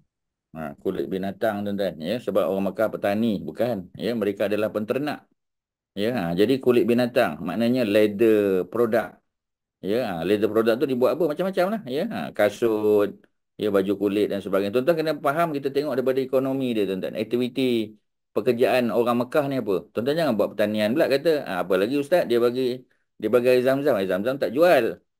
Ya, ha, air zam-zam tu diminum siapa datang minumlah, bawa sikit boleh kan? Ya, ha, tapi macam tadilah takkan air zam-zam. Apa lagi tuan-tuan ya? Ha, yang dianggap bernilai tinggi takkan buah kurma ajwah, ajwah duduk Madinah. Ha, jadi barang-barang kulit ya, ha, mereka hadiahkan kepada Najasyi. Ya, kadang-kadang benda tu common sense ya tuan-tuan. Ya, tuan-tuan tak perlu baca banyak-banyak pun. Common sense aja kita kata. Ya, ha. Jadi macam di Malaysia kan orang Melayu biasanya nak bagi hadiah ke orang dia bagi apa? Orang Melayu kita tuan-tuan nak bagi hadiah ke orang apa dia bagi? Apa kat maraton? Ya, Haji ya, Datuk Osman, apa kita bagi? Orang Melayu nak bagi apa? Tuan-tuan lah, ya, tuan-tuan orang Melayu kan. Kita semua orang Melayu. Apa kita nak bagi pada pada apa kita panggil ya pada foreigner ataupun pada orang luar yang datang. Apa kita bagi? Kain samping, kain songket, Ha ya, ha, mungkin songket ya, ha, mungkin pakaian-pakaian. Kita punya produk. Apa lagi? kuih-kuih Melayu. Ha ya, benda-benda yang orang tu tak ada lah. Ya, ha. Jadi kalau Mak Saleh datang rumah kita, kita sediakan pizza, ya, spaghetti sebagainya bukan tak boleh, tapi itu makanan biasa bagi dia. Kita kena bagi benda pelik lah, ya, baru dia suka, ya. Ha, macam orang bandar kan. Orang bandar pergi ke kampung, ya. Orang kampung sediakan makanan-makanan bandar. Ha, tak nak dia tengok tuan-tuan, ya, dia nak benda-benda yang original daripada kampung. Ya, ha, macam itulah cerita dia. Jadi orang Mekah bila mereka pergi ke suatu tempat, mereka bawa hadiah dan hadiah tu kebanyakannya adalah leather product leather product. Dan pakaian ya. Sebab orang Mekah punya kemahiran apa tuan-tuan? Bila mereka menternak betul mereka punya kemahiran. Apa? Kemahiran apa yang orang Mekah ada? Kemahiran apa? Tangan? ha, ya. Kema- kemahiran menjahit tuan-tuan. Menjahit. Ya. Ha. jadi bila mereka menjahit tu yang boleh buat baju ya baju kulit boleh buat apa capal kasut ya. Boleh buat sarung pedang ya dan sebagainya. Tu semua memerlukan kemahiran menjahit tuan-tuan. Mesin tak ada jadi maknanya semua kemahiran tangan, kraft tangan je lah. Ya? Ha, itu cerita dia. Tuan-tuan kena praktikal lah benda-benda ni. Ya? Ha, jangan jawab benda-benda yang kita kata tak patut. Ya? Ha, kita kata, oh orang Mekah ni mesti bagi kita kata barang kemas contoh. Ya? Ha, barang kemas Mekah pun import tuan-tuan. Ya? Ha, permata dan sebagainya dapat mana lombong mana ada kat Mekah tu. So jawab tu biar kita kata logik lah. Ya? Ha, tengok tempat lah kita kata. Ya? Ha, sebab apa? Sebab sesuatu aktiviti di suatu tempat tu tengok apa yang available kat situ. Ya, kalau ada permata, permata lah. Ya, kalau ada barang-barang kemas kita kata harga galian dan sebagainya ikut apa yang available di suatu tempat tuan-tuan ya. Dia bukan kita kita kata oh Mekah ni semua ada ya. Memang Mekah ni semua ada sebab dia World Trade Center ya tapi dah tentulah harganya agak mahal. Tapi kalau barang-barang kulit itu murah. Ya kerana memang banyak barang kulit di Mekah ni sebab mereka memang penternak binatang. Dan binatang diternak ya bukan sekadar untuk kulit mereka tetapi untuk daging dan juga untuk susu. Ya, sebab tu ya bila di, di, di suatu tempat tu tak ada bekalan air maka susu kambing lah. Susu kambing, susu unta ya yang menjadi yang menjadi apa kita panggil ya keutamaan mereka sebab nak makan nak minum. Jadi Najasyi tolak semua permintaan mereka walaupun mereka bagi hadiah. Akhirnya kaum kafir Quraisy gagal dalam usaha nak bawa balik nak minta ya nak nak apa kita panggil nak pressure ya apa apa kita panggil ya uh, Najasyi untuk membatalkan suaka politik tak tak berjaya tuan-tuan. Mereka nak lobby tak berjaya. Sebab tu Najasyi ni orang yang jujur. Ya orang yang berpegang kepada janji. Dia janji dia jamin keselamatan dia bagi keselamatan. Sebab tu orang baik ni tuan-tuan. Allah buka pintu hati menerima Islam. Ya, ha. sebab tu ya orang kita tengok ya orang yang memang orang baik contoh, saintis contoh kan ya dia buat kajian, dia ikhlas aja tuan-tuan ya dia nak cari kebenaran. Kalau dia nak cari kebenaran, Allah akan tunjuk kebenaran pada dia. Dia masuk Islam dia tuan-tuan. Berapa ramai saintis, medical doctor kita kata.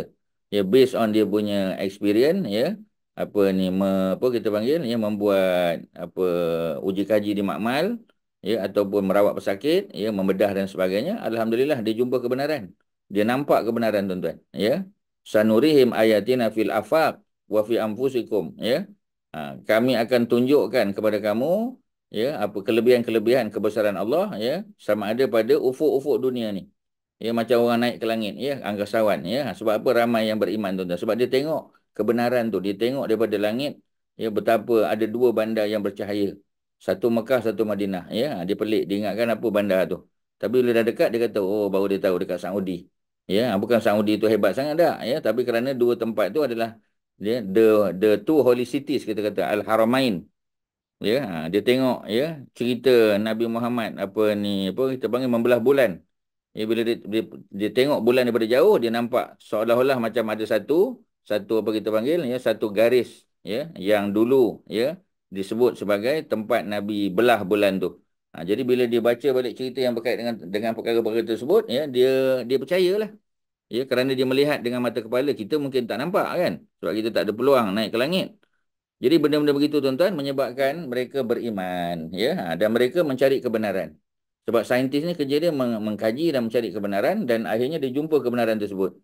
Ya bila dia jumpa kebenaran tersebut dia pegang betul-betul, dia beriman. Kadang-kadang dia lagi committed daripada kita dalam bab yang berkaitan dengan agama.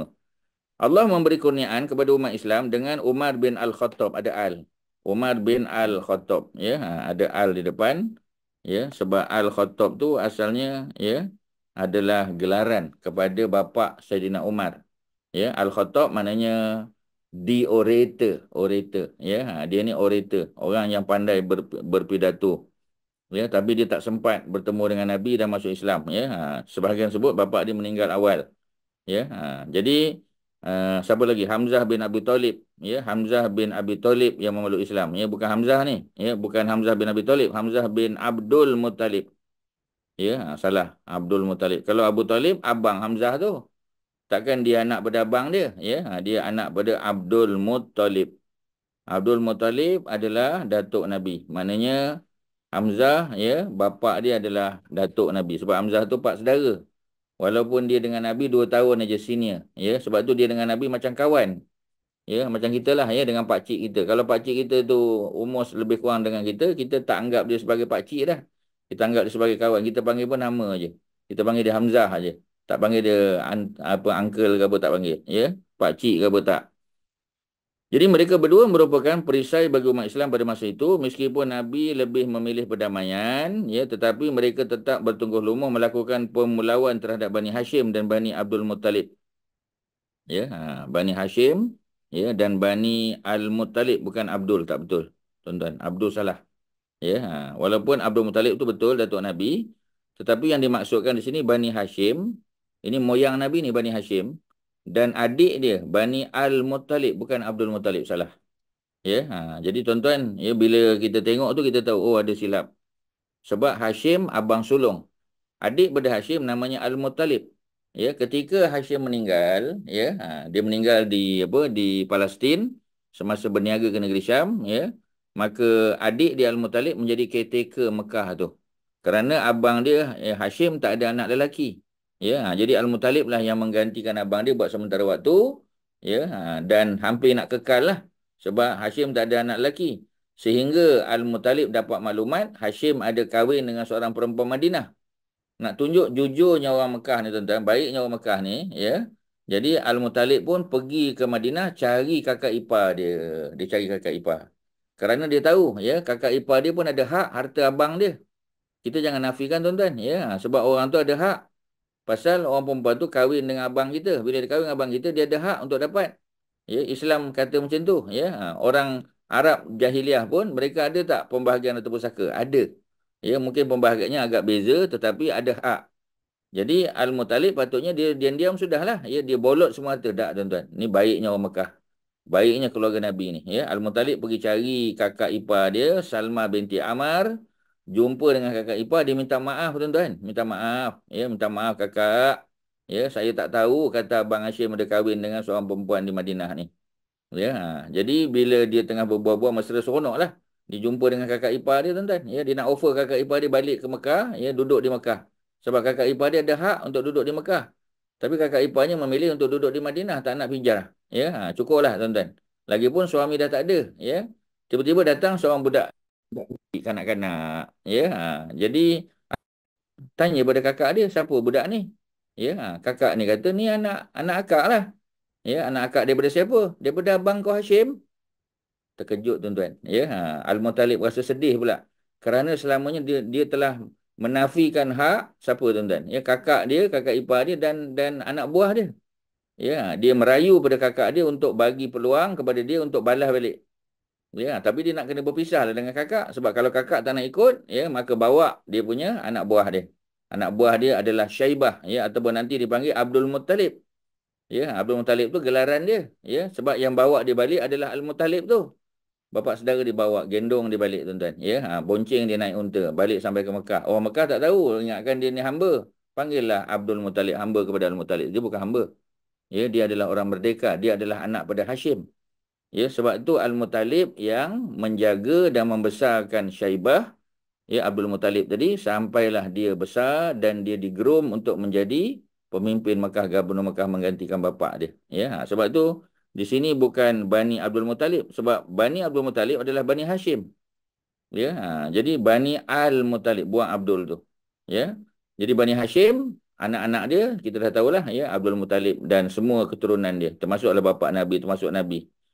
Bani Al-Muttalib ya ini adalah adik-beradik kepada Hashim ya. Ha, jadi dia bukan Abdul, dia Al-Muttalib saja.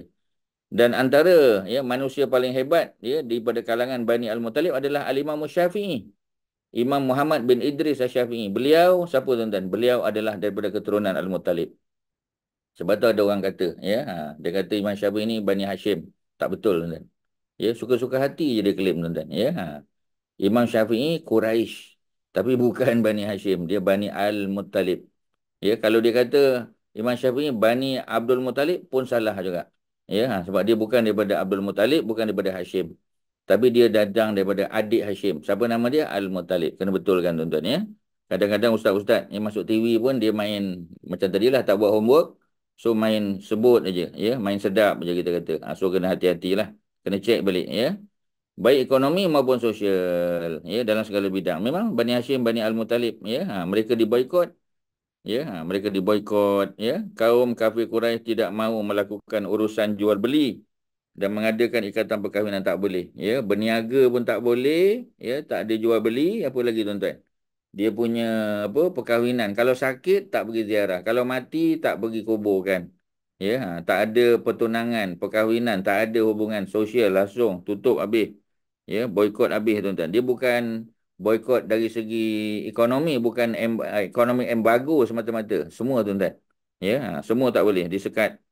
Ya dan dia punya apa dia punya perjanjian macam dia kata apa kita panggil ya uh, urusan tadi ya semua dia punya the the apa kita panggil the the dons tadi ya semua diletakkan di Kaabah ya di dalam Kaabah ya. Ha, bukan di dinding Kaabah ni dalam Kaabah salah.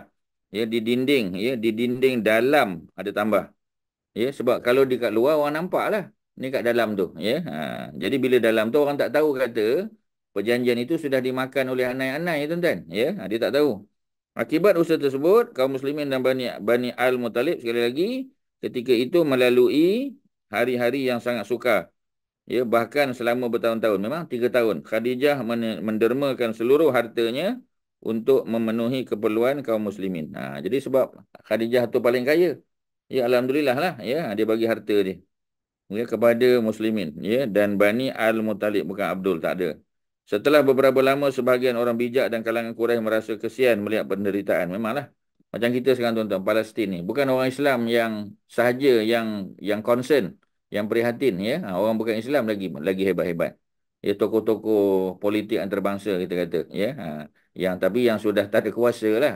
Ya, yang sudah yang sudah apa kita disingkirkan daripada jawatan. Yang sudah tak dilantik lagi untuk penggal yang ketiga kita kata. Ha, tu memanglah ya.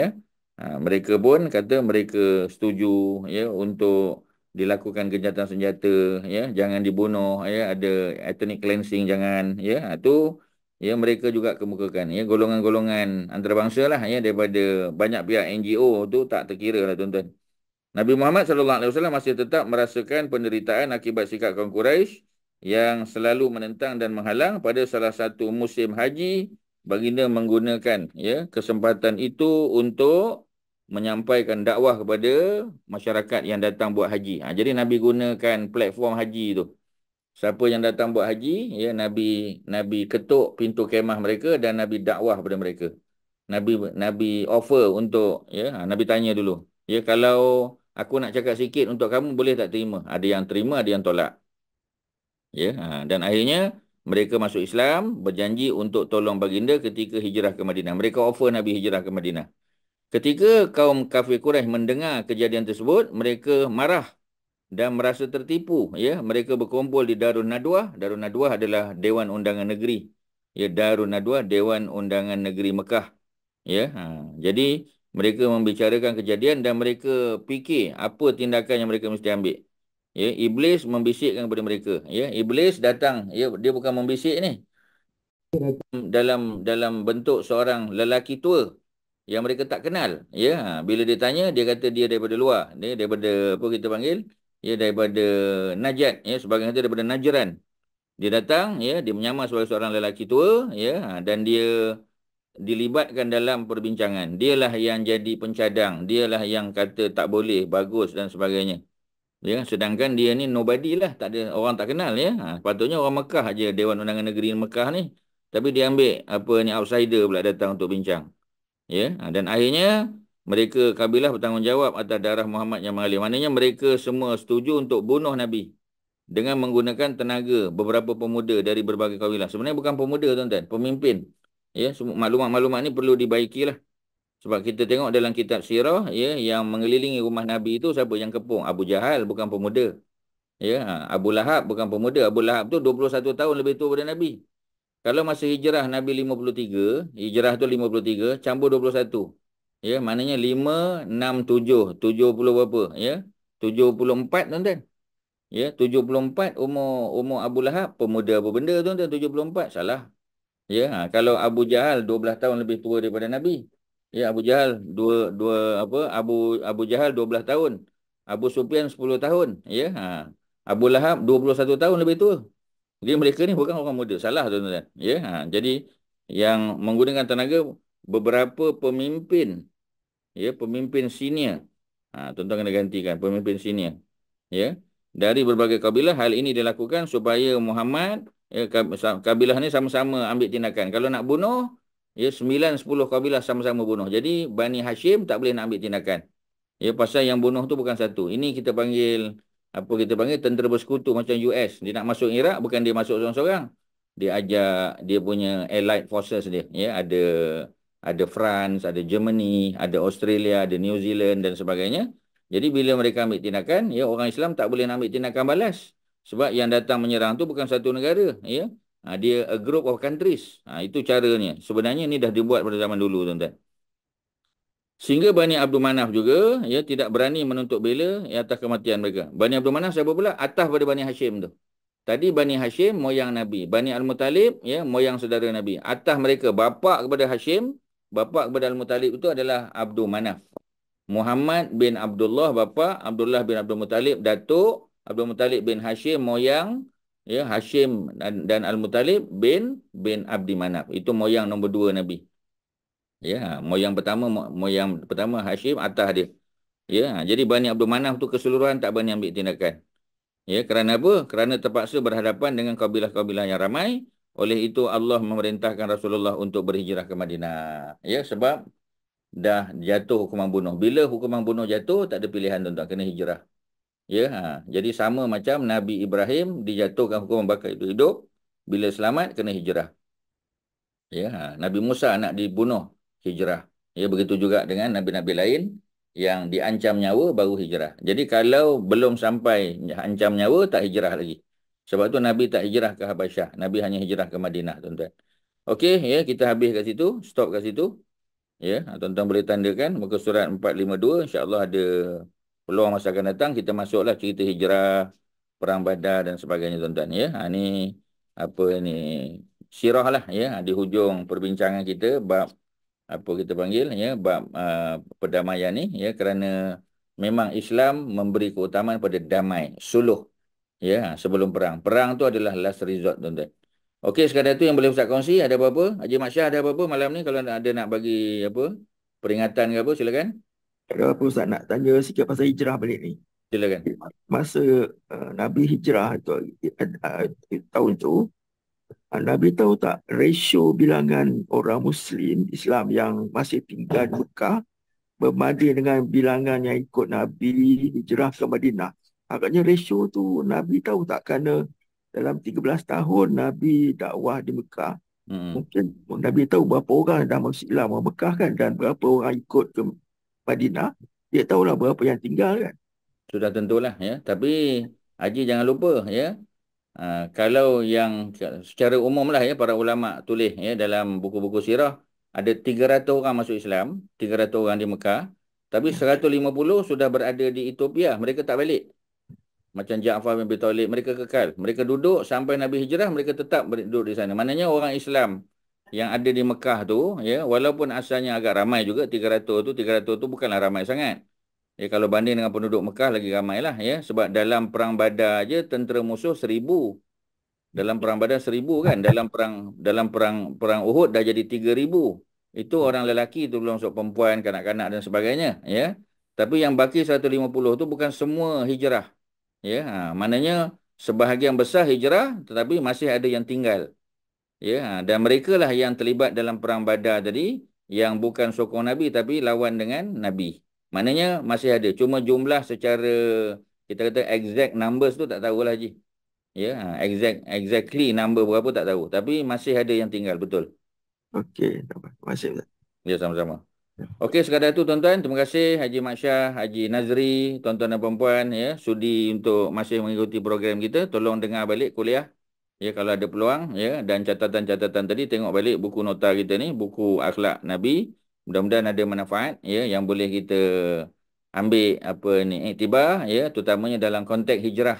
Ya kita pun masih berada dalam bulan Muharram ya paling kurang kita tahu hijrah Nabi itu dulu hijrah tempat ya from place to place ya from from place to a better place ha, kita kata ya.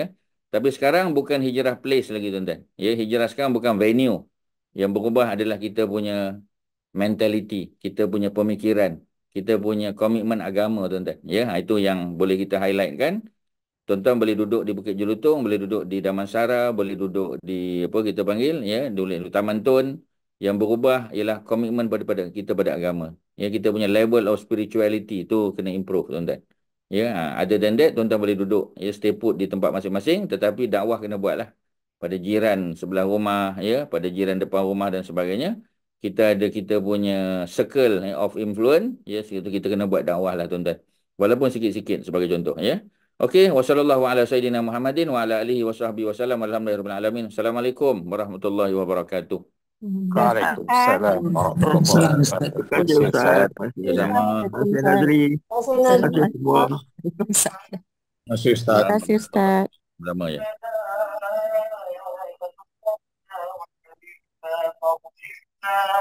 فأرجعنا نعمل صالحا